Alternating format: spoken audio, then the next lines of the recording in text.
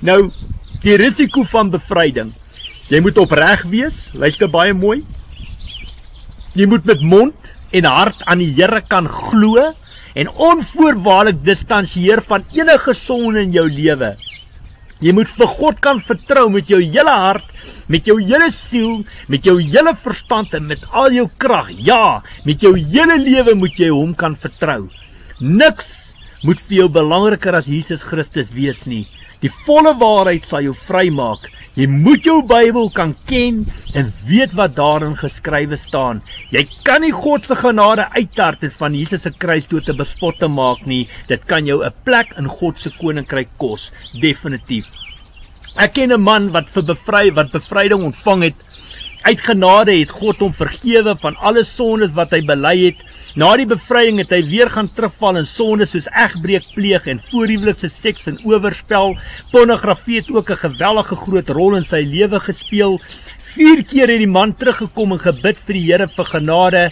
Elke keer het hy maar net weer teruggeval in dieselfde sonde waarvoor God hom vergewe het.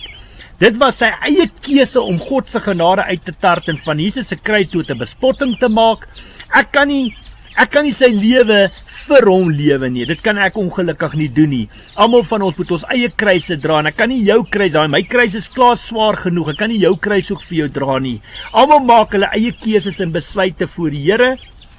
Ek plant die saad. God gooi die kunsmis in die water en oes die land in as die saad ryp is. Dit is vir God verskriklik belangrik dat die grond reg en goed voorberei sal word voor die saad geplant word. Die persoon moet weet dat die keuse van bekering 'n baie belangrike en verantwoordelike besluit in sy lewe is.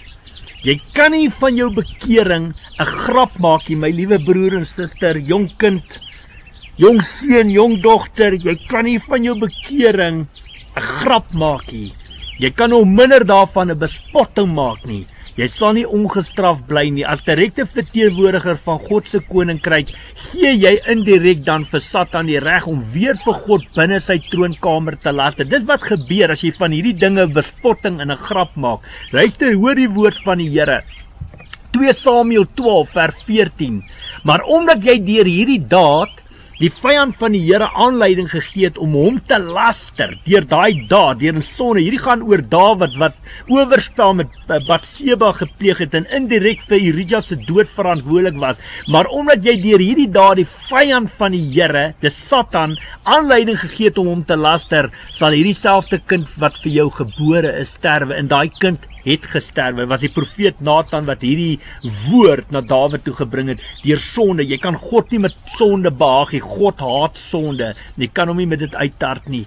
Die man het op die ou einde van die dag het hierdie einste man in Weskoppies opgeëindig. Vir maande die dokters en die susters probeer vasstel wat fout is met hom. Pille is ook vir hom gegee vir depressie.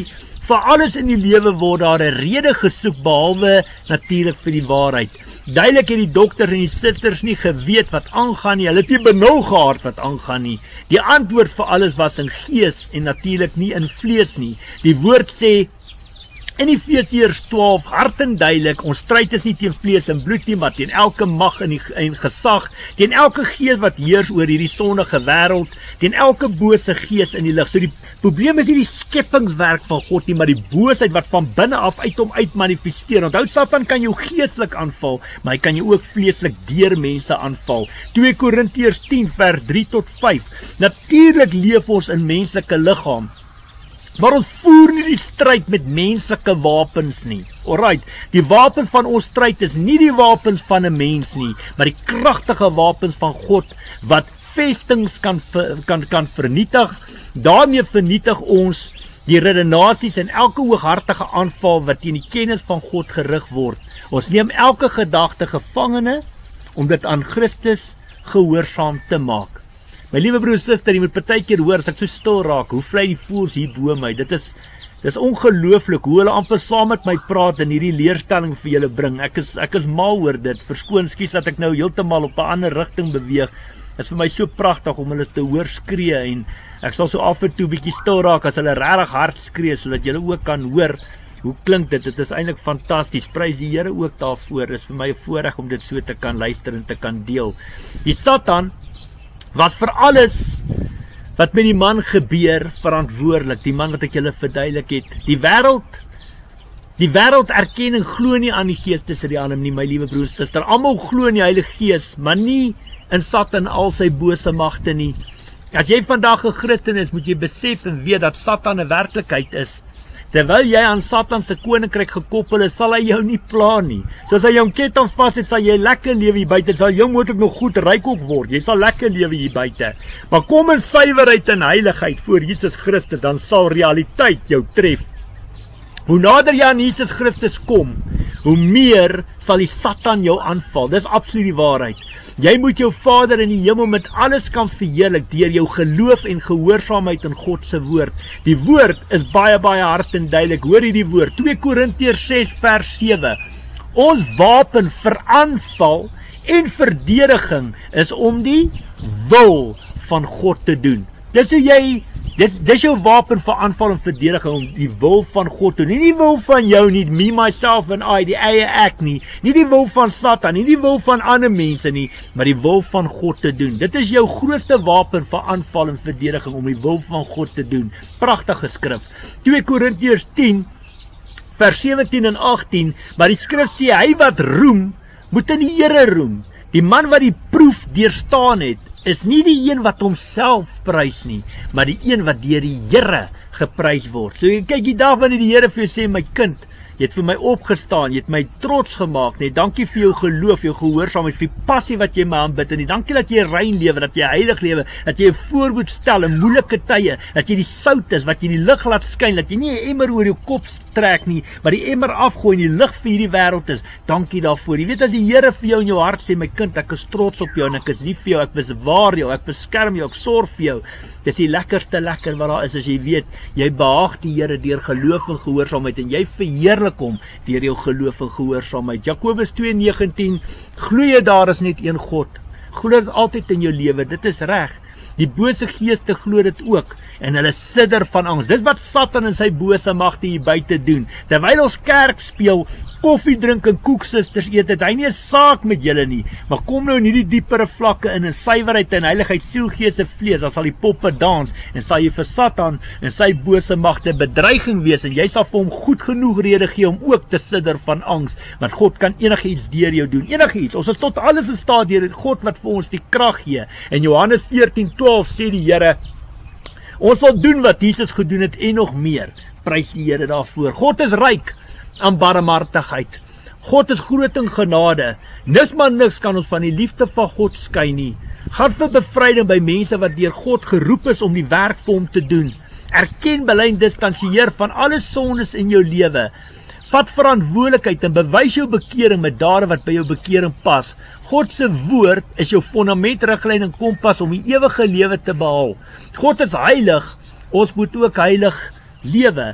Die woord sê in Hebreërs 12 vers 14 dat sonder vrede en sonder 'n heilige lewe sal niemand vir God sien nie. So jy sal nie vir God sien as jy nie in vrede en heiligheid lewe nie. Op die huidige stadium bid ek nog al die pad vir die man wat in Weskoppies opgeëindig het. Die woord sê enige sonde is vergeefbaar behalwe as jy die Heilige Gees gelaster het. Vir almal van ons is daar genade, my liewe broer en suster, deur jou geloof in Jesus Christus is God meer as bereid om jou te verlos van die bose mag van Satan waarin jy vasgevang is deur jou sondes en al jou ongeregtigheid.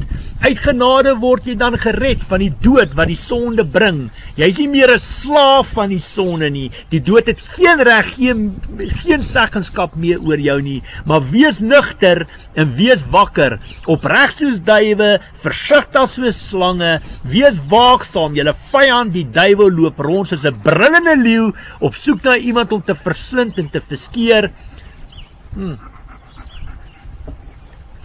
Bly staan vastig in die geloof en staan hom te. En moenie vergeet nie, dwars deur die wêreld moet julle moet julle medegelowiges dieselfde soort lyding verduur. God wat alle genade gee en wat julle geroep het om in Christus Jesus deel te hê aan sy ewige heerlikheid sal julle nadat julle kort tydjie gelei het, self weer oprig en julle moedig, sterk en standvastig maak.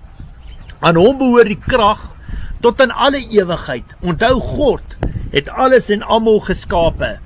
Vir hom is ieder en elk van ons baie baie belangrik. Maak nie saak of jy wit, bruin of swart is nie. Maak nie saak of watter taal jy praat nie. Maak nie saak of watter land jy bly nie. God het jou lief. Hy gee om vir jou. Hoor vandag die woord van die Here. Hy gee om vir jou. Hoor vandag die woord van die Here. Esegiel 18:23. Dit is beslis nie my wil dat die goddelose moet sterf nie, sê die Here my God. Dit is my wil dat hy hom bekeer van sy verkeerde dade en dat hy bly lewe. Esegiel 18:23 en dan nog 'n skrif na die Ou Testament wat die Here vir my gee om dit te staaf en bevestig. 2 Petrus 3:9. Die Here stel nie die vervulling van sy belofte uit nie. Al dink party mense so. Nee. Hy is geduldig met julle omdat hy nie wil hê dat iemand verlore gaan nie. Hy wil hê dat almal hulle moet bekeer. Amen.